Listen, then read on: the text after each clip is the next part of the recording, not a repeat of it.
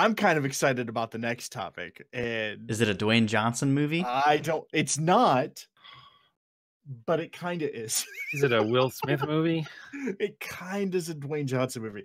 So they are looking to cast in the new Snake Eyes movie from the G.I. Joe series, which is that was the mo- that was the cartoon when I was younger. I searched for G.I. Joe and I watched as much as I could. Um, but they're doing a Snake Eyes movie, spin-off movie, and they are looking to cast Henry Golding as Snake Eyes. Now, for those of you who don't know, Who's Henry Golding? who's Henry Golding? Allow me to to share with you who Henry Golding is. Um, I talked about Henry Golding last year. It was last year, wasn't it? It was last Well, year. there's only been so many podcasts. Well, I was trying to remember if it was this year or last year. Okay. Um, last year because uh, Within the last year. Rich Asians. Um, Henry Golding was the main uh, character in that. The, main, guy. Asian. the main crazy rich Asian, and he was crazy rich. Um, he was in in that uh, uh, movie in uh, Crazy Rich Asians. He is actually going to be in a new movie that a new Christmas coming out. Trailer just um, came out for that. Yeah, yeah. Uh, Mhm. Lost Christmas is it? Last Christmas. Last Christmas. Um, with uh, with uh, Khaleesi. Um, so he'll be in that with her and so he's been he's he's in talks to play snake eyes now snake eyes for those who may not be familiar with gi joe snake eyes is the resident ninja um for the group Is he a Uh, good guy a s- ninja? he is he's a He good guy ninja uh he doesn't talk um he has usually well not in the movies but in the cartoon he had a wolf with him named timber Mhm. um I'm excited for that. he had no problem shooting people in the face as well as using his swords to fight. Um, the comics were quite graphic. Yes. Um, his um, his nemesis is Storm Shadow, who was a ninja for Cobra, um, who also in the Mm. books, I mean, he was essentially. a, more of a contractor, but Yeah, enough. but I mean, he fought for him. yeah, yeah, um, yeah. he uh he's actually snake eyes' brother in the movies he was not a blood brother but i believe if our the comics he was um and so on the version. yeah it's that's fair. Um so that's his nemesis. So so snake eyes um is everybody's favorite almost everybody's favorite character in gi joe. Um Mm.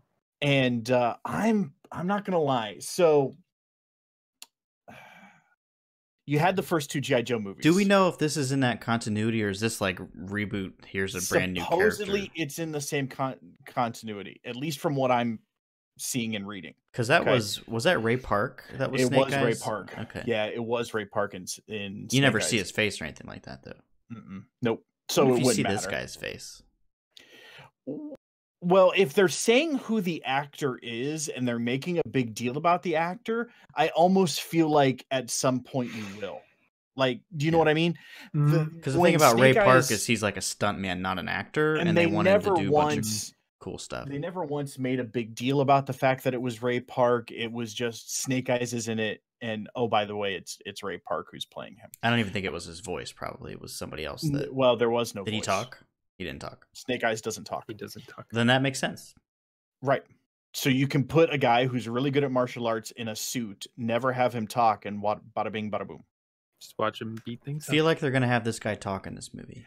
I so I'm not. I'm I'm kind of along your lines too. I feel like again, if they're making a big deal about who they're casting for this role, I feel like there's going to be something maybe out of character from Like the comics young with it. Snake Eyes. seeing his face, see the beginning. talking about him, uh, potentially an origin story type situation, maybe why he takes a vow of silence or doesn't talk. Um, It's not like a Deadpool and X Men Origins Wolverine where he gets his mouth sewn shut or anything like that. Is it? no, it's I, I just think he's a I just think it's like a silence thing. Like he just doesn't talk. Um, I I- it's like not that he can't talk. reason. Yeah, that's what I'm, I, there's a there's a reason. For, I don't know if it's a vow of silence takes something along that lines, but he can talk from everything that I remember. Um, he just didn't talk. Um, so the first GI Joe had uh, had Channing Tatum and um, uh, uh, Wayans, uh, one of the Wayans brothers. Marlon. Marlon Wayans um, were the two main characters in that, and then you had some uh, some decent actors in. Dennis Quaid was in it. Um, uh, Rachel Nichols played Lady Jaye uh, in it, um, and then you had uh, Joseph Gordon-Levitt played uh, Cobra Commander. Oh, I remember. that. Uh, uh, Christopher Eccleston, E- E- Yeah. Eccleston, I believe is how you pronounce his last name, was um, uh, Mindbender, Doctor Mindbender, and then uh, oh, I can't think of his name. Um, he was the he was the mummy, the mummy in the Mummy movies. Um, played uh, I can't think of the character's name now.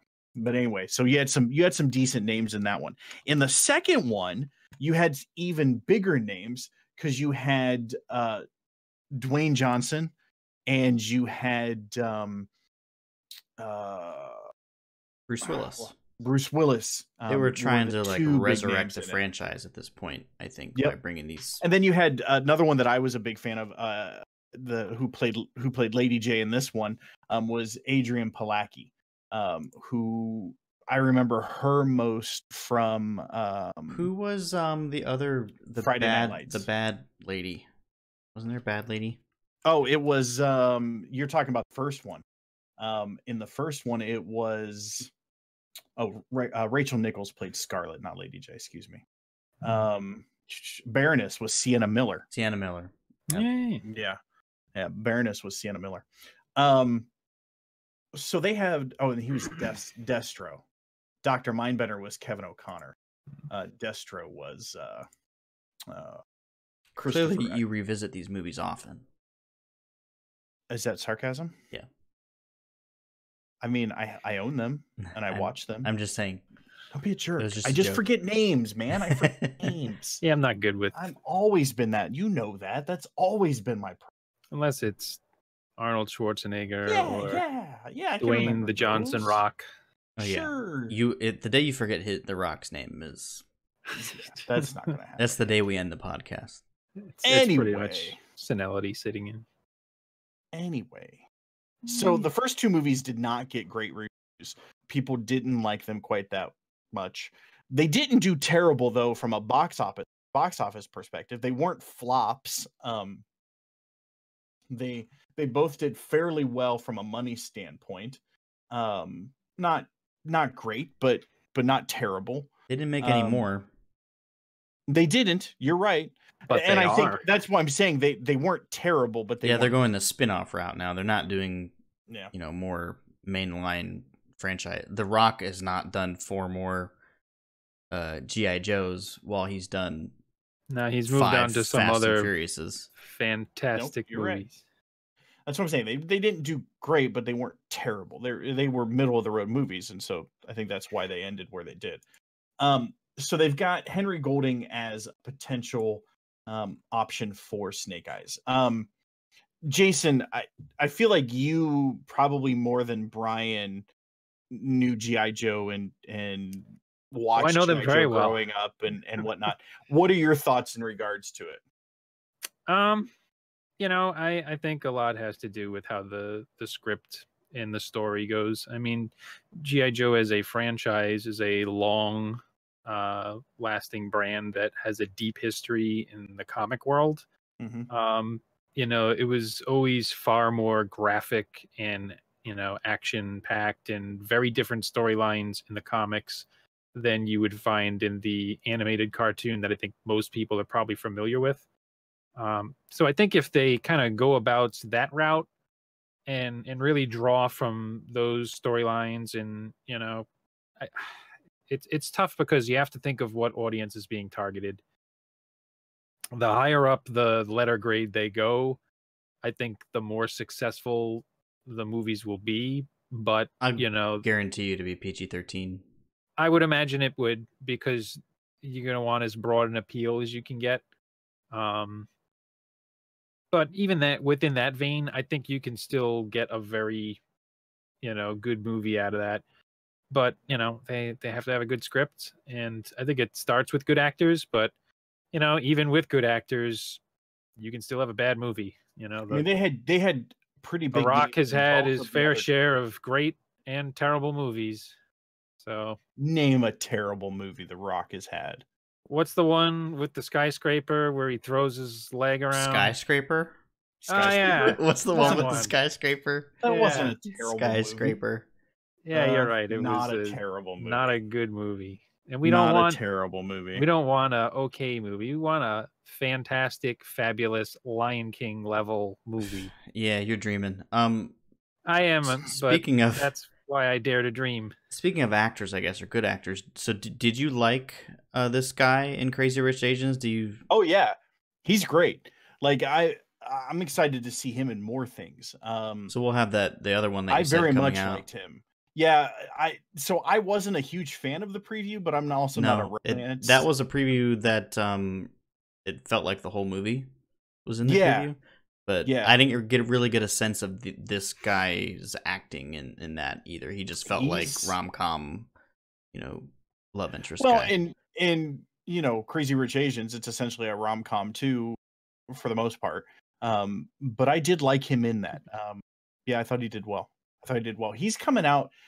I think the next one he's also got a thriller or yes.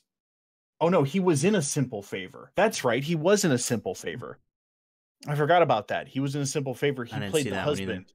He played the husband in that, and that was a different a different role for him. Um, the thriller aspect versus the the rom com aspect. Um, and I liked him in that as well. I forgot he was in that. Mhm. Simple Yeah. favor. I don't have much of an opinion on this other than I feel like they can't do a whole lot worse than at least the first GI Joe. You're not wrong. You're not wrong. Um, and if they're Now- taking the most liked or interesting character from the series and doing something with him, um, and they're getting this guy to play him, and apparently people like him, and he's a star on the rise, and and all that stuff, then um, that makes me hopeful for it. But I don't really have any attachment or anything like that to the GI Joe. I did have a, I did have one of the custom like build your own GI Joe characters that they did a Hmm. while back. Um, but I never, I never really like. I liked my GI Joe. I didn't like the previously established characters. I don't, or I don't know who they are really. So That's um, a shame. I was always disappointed there was never a GI Joe. But that honestly, like the height of GI Joe was probably just like a little bit before your time. Yeah, You're not a You're whole just- lot younger, but like you're really, just it a was baby, Brian. early 80s. Early 80s was like the prime time, like 83, 84, you know, 85. That kind of Yep. general time frame was when they really eighty six. slammed it up. And, you know, 86, 87, they still had stuff, but it was more like, you know, trying different things. And then, you know, they had some more stuff in the 90s, but it wasn't the same. I'm pretty sure I found my little guy um a couple years ago, and they had like um stretchy rubber band things in the, keeping all the legs on, and I'm pretty sure he was like all stretched out, like just from, yeah, that's from age. O-ring. yeah, Mhm. It had I would always spin him to see how many yeah. times Put him. could You could um, you could pull him up and spin him around, and then he'd he'd be like his Yeah, torso his would body be was backwards. backwards. Yeah. Yeah. My brother and I strapped fireworks to a few, and they had some Oh, battle you damage. you were Sid from Toy Story. Okay. kinda. I mean, only the ones we didn't like. Snake Eyes survived, What's which is face? surprising because it should probably be the other way around because that's kind of what goes down with him. no Spoilers. Yeah. I mean, it's an eighty. You know, come on, twenty something years